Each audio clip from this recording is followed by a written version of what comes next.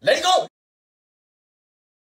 ーおしょです。はい、今回は岡山県の玉野市、長井の瀬戸内海沿岸、もうすぐそこ瀬戸内海やね。沿岸の田舎やな。めっちゃ田舎やったね。一っ子一人みたいな。う。ん山道すごかった。はい。で、ドーン！あちらご覧ください。はい。あそこ、王者アルカディアリゾートホテルって言って、国税、国が40億円ポン！うん。放り込んでうん。建てたホテルやねんけど、うん今2022年現在29年間廃墟でございます。え長っ。完全に放置されてる。でもほらこれ見て。これ駐車場や。あこれこれで自社やな。うん。うん。一切使ってない。未完成のまま放置されてるえあ未完成なんすか？うん。えあ。建てられたけど内装工事の途中で終わっちゃってん行ってみたいと思います。はい。レディゴーまあレディゴー言うても来てんねんけども。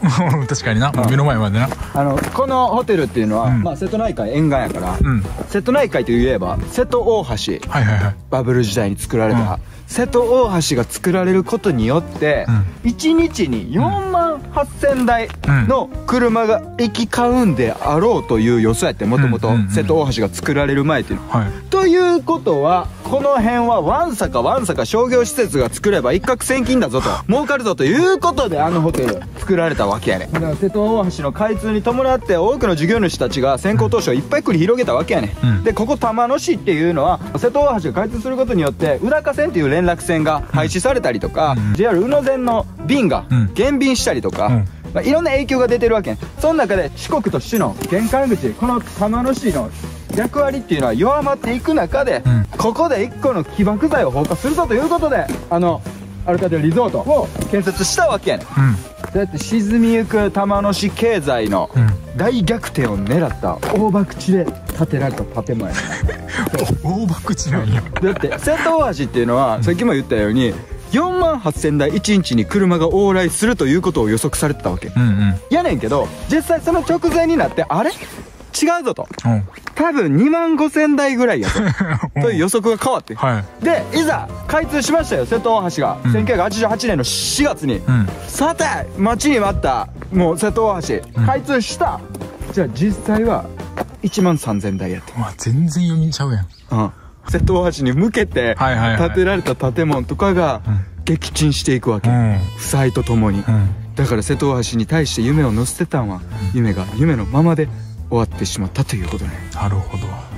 そういうものがいっぱい多いね実は。この辺には。うん廃墟スポットっていうのが。瀬戸大橋に夢を乗せて作ったのにもかかわらず作った作ったでええけど何年間しか営業できなかった、ん。でかい建物だけが残る。もしくは今回はここ、未完成のまま建てたのはこんだけでかいね。これエグいっすね。なんなんこレストハウス。れレストハウス。あ休憩所。う休憩所。ーんうおーえちょっと待って。えすごいよこれ。えげつな。なんか太陽の光が。いやえぐいわ。いやここな。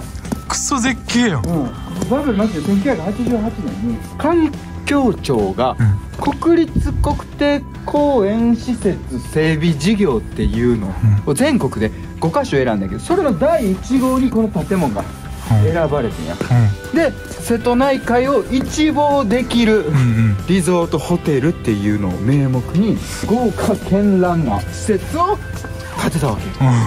これ見て。これエグいわ。ちょっとえぐい。ちょっとえぐいえぐいって。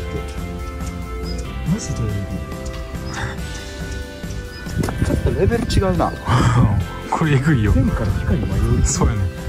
にもめっちゃええみたいマジで。そうそうこれちょっと俺の写真これ撮るやつ。や これこのホテル完成させろよ。うん。そうだから環境庁が40億円をかけて、うん。玉野市っていうのと、うん。環境庁うんの第三セクター、うん。第三セクターっていうのは超公共団体と民間の企業がタッグ組んで投資してうん。作る、えー、と企業やったりとか事業のことやねんけど、うん。その第三セクターの王子リゾートうん。っていうのがさらにこの建物を買収してうん。30億円かけて内装工事に取り掛かる。中はまだやってんだから。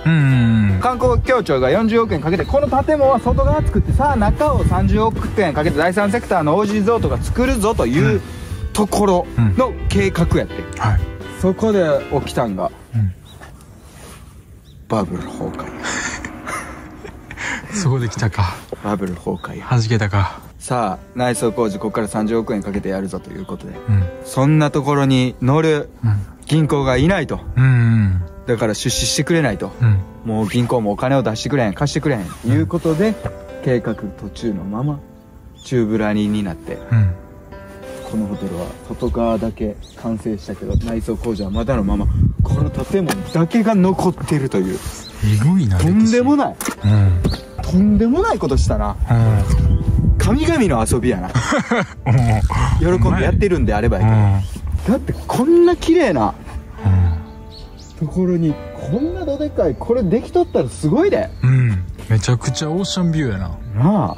降りていってみよう。降りていってもいっぱいなんかその建物近づいてみよう、うんうん。そ中はやっぱ入られへんけど、うん。これちょっと近く近づいてみたらでかいな。めっちゃでかいほんま。なあ。あれもやっぱ窓ガラスとか割れとんな。だからこのホテルが建つことによってリゾートホテルがうんうん。完成して、うん。1993年に。そしてこのホテルとともに地域が活性するはずやって。これ。すごっ。すごいなこれ。窓ガラスほぼないな。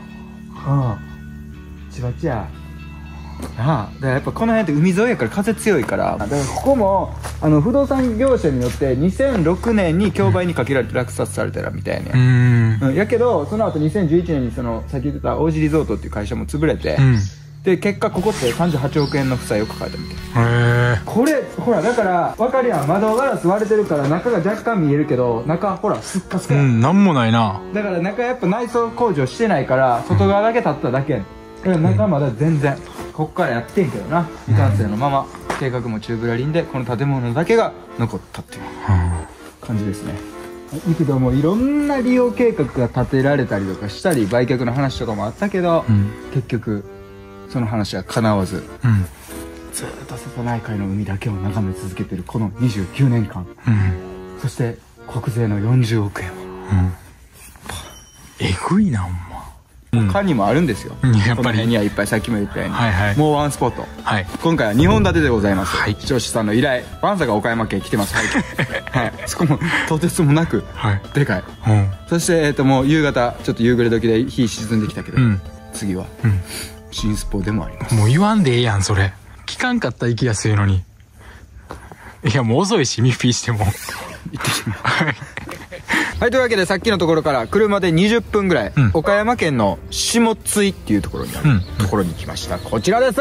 じゃん。うわっで巨大廃墟でかいなほんま。ここも瀬戸内海を望むすぐそこ瀬戸内海、うんこっちねうん望むでまあ言うたら瀬戸大橋開通に伴ってうん建てた巨大廃墟ホテルです、はい。ラ・レインボー。巨大タワーを備えた。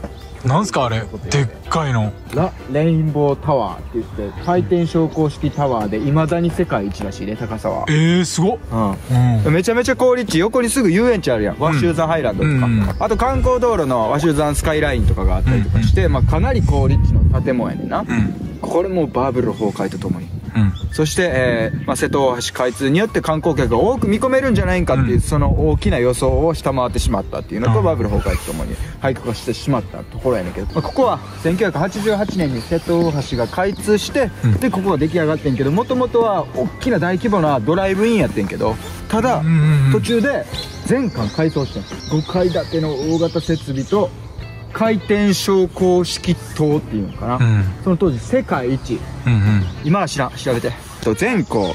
150m ほら。キャビン。138m すごいな。あれ怖いででも。めっちゃ怖い。150m は。だいぶ錆びとんで。うこんなんいつか倒れるで。んねえこれ倒れそうやなほんまいつか。うん。本気で落ちたら倒れるで絶い対やそれはやばいでしょ。ここも結局1988年に建てられたけど1997年に閉館。うーん。だから10年も持たうんん、うんうん。こんだけでかい建物建てて10年も持てへんかったの。えぐいな。でもともと日本ゴルフ開発っていう、まあ、ゴルフ場とかの会社うん。の子会社ラ・レインボーっていうはい。会社、うんうん。どっかで聞いたことある。なんか聞いたことあんな。はラ・レインボーって会社がここい。立ってん。はい。なんで聞いたことあんねや？俺らが行ったはい。香川県の坂出市のはい。アクア小吉島はい。っていうあれね。うん。ベネチア風のはい。リゾートホテルやったやうん。んあそこの会社。あ一緒なん？一緒。あそうなんや。うまあ言うたら瀬戸内海系やな。ん そうやな。親会社の日本ゴルフ開発会社が岡山県下に3つのうんうんゴルフ場を持っててんうん親会社は。めちゃくちゃ財閥や。そういうことやな。その子会社がラーレインボーっていう会社。うそれをん。それがここを建てたっていう。で結局1993年には31億5400万の年商うん。になったみたいやね。すごい。会社は、うん。結構だから上り調子やった。はいはいはい。ただバブル崩壊でドーン。で1997年に、まあ、結局ここも閉館してラ・レインボーも潰れたっていう。はあなるほどねラ・レインボーが潰れて、うん。でその債務保証とかが圧迫して親会社の日本ゴルフ開発っていうのも2006年に民事再生手続きっていうのを取って、うんうん。まあ、潰れてんああそうなんや。わあでもな結構不気味やな。うん。割と落書きも多いな確かに。ここまで厳重にうん。ああいうのが置かれるまではガンガン入ってみんな落書きしまくってたみたいでなんあか写真とかも結構中の写真とかいっぱい上がってやるわ。ああそうなんや。並べとくわここに何枚か。うんうん。結構だからもういっぱいめちゃくちゃこうやって落書きがあったりとかみんなでやっぱ新スポー言うて入るぐらいやから肝試しとか。不法侵入ですからね。うん。所有者に無断で許可なく入ることは。2020年から2022年今年までで9グループ。35人がうん。検挙されてるらしい。うんめっちゃ捕まってるやん。2022年の2月19日もう男女3人が逮捕されてるらしい。え結構。え結構やなそれは。しかも入ってることを見つけれないと逮捕ってできんや、うんうんうん現行犯で、うん。だから防犯カメラとかめっちゃ置いてあるんやと思うで、うん。さっきもなんか書いてあったやん。作動中って書いてたな。でも見てるんやと思うわここに。うだからもし警察来たら、うん。5万払おう。合わせて10万か。あ そうやな。まあまあまあまあやな。10万まあまあやな。まあから10万稼げるから。そういう問題考えても経費的うんな。確かにな。領収書切れますか？って。切れるか。中入ってはいけません、うん。許可なく所有者の、うん。はい、今回許可取ってないんで外からこうやって拝むことになるんですけどね。これはえぐいな。入場料800円やったみたいだなあんたはうんでも多分9年間営業してたってことは、うん。入ったことある人おるかもしれない。これ見てる人。あ確かに確かに。どんなんやったか。実際ドライブインの時にやったんか分からんけど、うん。うんラ・レインボーもずっと瀬戸内海をこれから眺めることになるんやろな。これからフィールドに上がることもあるのかないのか。どうなのか廃墟が多すぎますこの日本には。ほんまにそうや。もったいなすぎます、ん。ここですよ。もうそれし死後。やなもう。それが廃墟。それが廃墟やわ。も廃墟。か 時代の流れは早いな。早いなほんま。これな相当やわ落書きとか。うん。何もよっさんしとるな